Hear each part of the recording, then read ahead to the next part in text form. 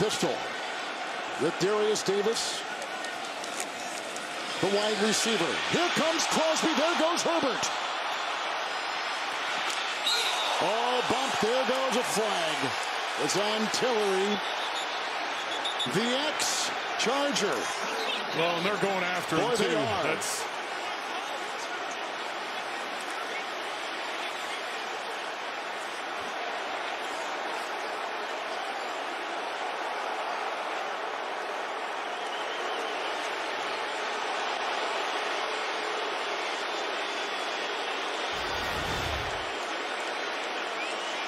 So Crosby has him here, and it looks like he can get him. And then Herbert jukes him out. You see Tillery, number 90, working across the field here.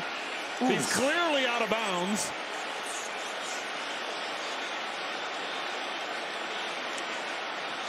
Just rocked him. Yeah, he does. That's That- his former teammate. Well, and that'll end up being a fine Yep. at some point in time. And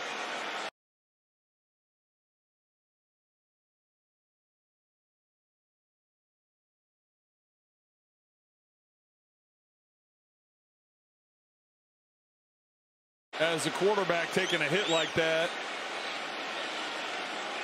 having your lineman come to your defense. With two terrific players, Crosby and Herbert. They'll be eye to eye most of the day.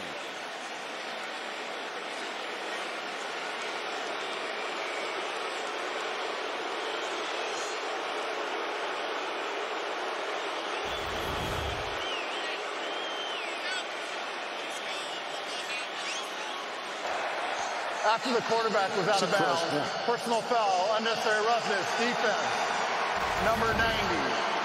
That penalty is 15 yards. After this is correction, first down, and number 9's been disqualified from the game. Holy smokes.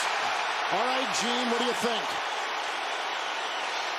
Yeah, this is a great job by New York. Look, in a situation like this, where Justin Herbert's pulling up, and Tillery now knows he's pulling up and out of bounds, a hit this egregious. In that situation, New York will weigh in. They will have that conversation, view, review it, and I think they've made the proper decision, guys, to disqualify him for that action. Gene, it's not unlike the hit that the Cincinnati Bengals kid put on Mahomes last year during the playoffs. In the AFC Championship.